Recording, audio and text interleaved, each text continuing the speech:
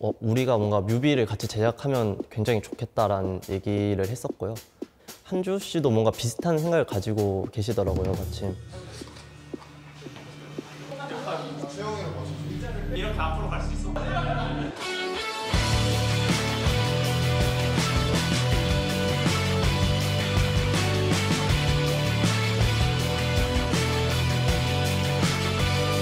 머큐리얼 산상기어랑 같이 발매하는 과정들을 함께 했는데 크게는 뮤직비디오부터 같이 진행을 했고 꽤 재밌는 콜라보 프로젝트였던 것 같고 올해에 이제 실리카겔 음반 발매나 활동의 약간 효시 같은 프로젝트입니다.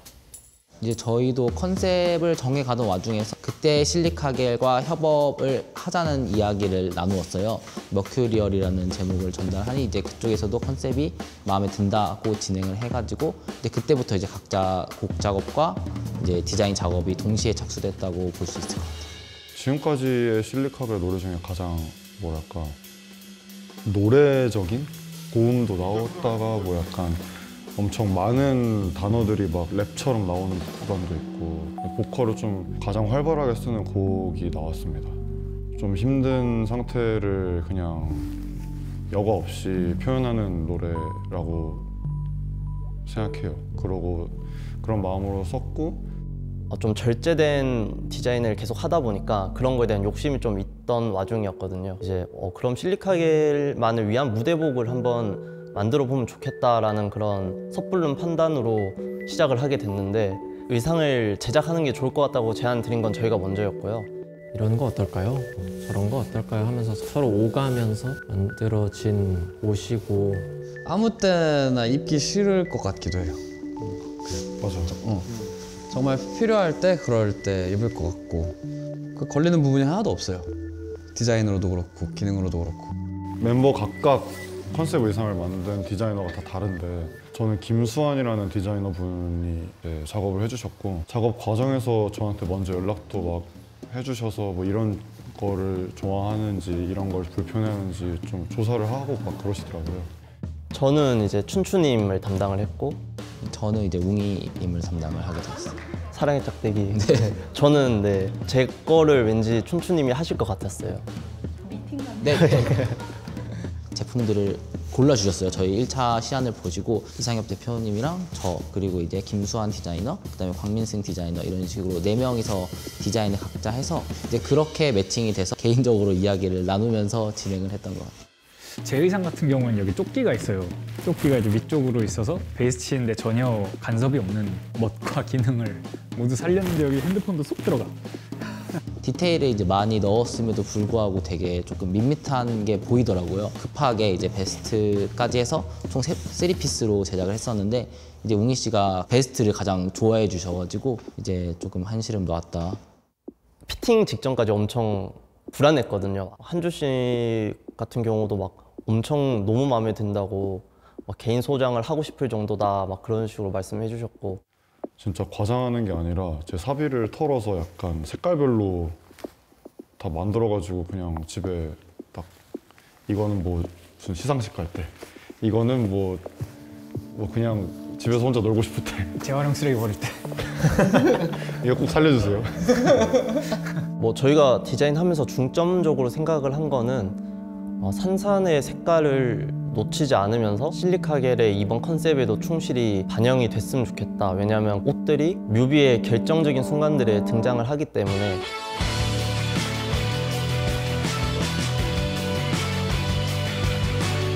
테마 2 부분에서 저는 이 의상을 보여주는 데 집중했던 것 같아요.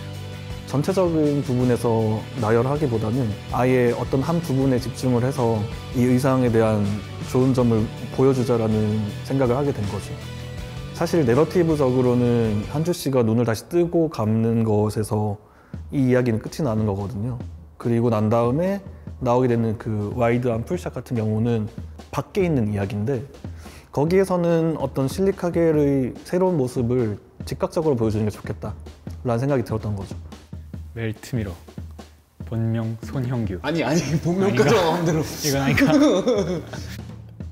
현경이 처음 첫 편집본, 뭐 중간본, 최종본 이거를 보여주는데 사실 첫 편집본부터 엄청 좋았어요. 와 벌써 이 정도의 뎁스로 보여준다고라는 느낌이었는데 실리카겔의 음악은 당연히 뭐 말할 것도 없고 거기에 저희가 원했던 이제 현경의 그런 영상까지 들어가니까 네 너무 그냥 한 작품이었다고 봐요 저는.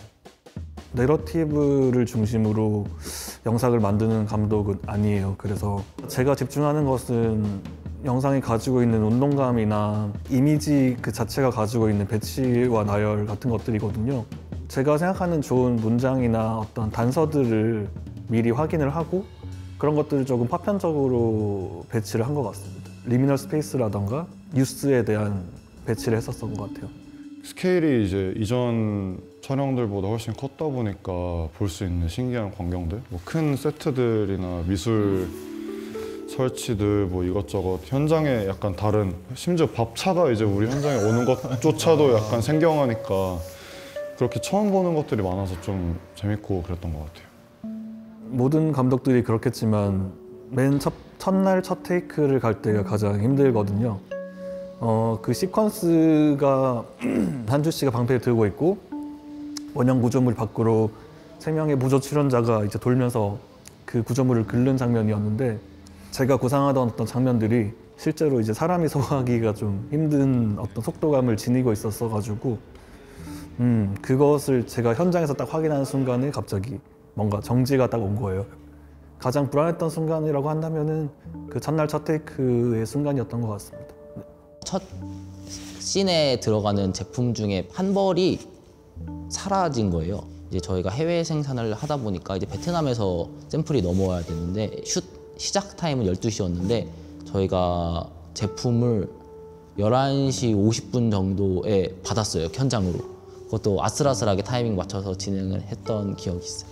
예전 같으면은 이제 뭐 이런 촬영적인 측면에 신경 썼습니다라던가 아니면은 조명을 어떻게 설계하는 것에 신경 썼다고 얘기했을 것 같은데 최근에 저는 오히려 좋은 장면까지 이 시청자를 잘 데려다 놓는 것에 신경을 쓴다고 얘기를 하고 싶어요. 네. 제가 생각하는 그 좋은 장면에 사람들이 도착하게 되면은 모두가 그 뮤직비디오를 이제서야 이해하게 됐었거든요. 그래서 이번도 마찬가지로 내가 만약에 그런 좋은 장면을 만들 수 있다면은 꼭 끝까지 사람들을 무사히 데려다 놓겠다. 그런 마음으로 작업을 했던 것 같아요. 네. 그게 이제 이번 뮤직비디오에서는 2분 18초에 있는 그 장면이라고 할 수 있을 것 같습니다.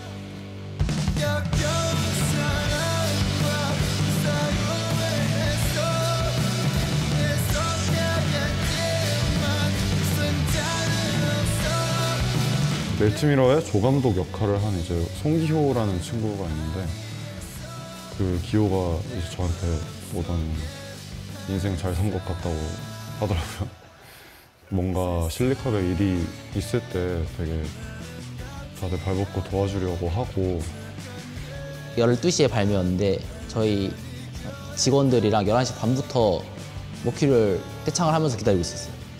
그 컴퓨터 이제 모니터 틀어놓고 사실 오전에는 아무것도 못하고 그것만 기다리고 있었어요. 오전 업무가 그거 기다리다가 올리고 해- 했다. 끝났다.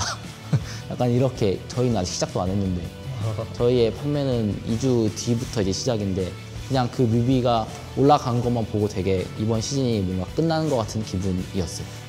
사실 약간 이거를 완전 시작이라고 보거든요. 우리의 2013년 첫 발매인 것이고 우리가 뭔가 생각하고 있는 그 종착점이 올해 안에 뭔가가 있기 때문에 뭐 큐리얼도 좋지만 그 이후에도 계속 더 좋은 게 나올 거니까 아주 단디하고 있어야죠. 시원하게 스타트를 끊었다.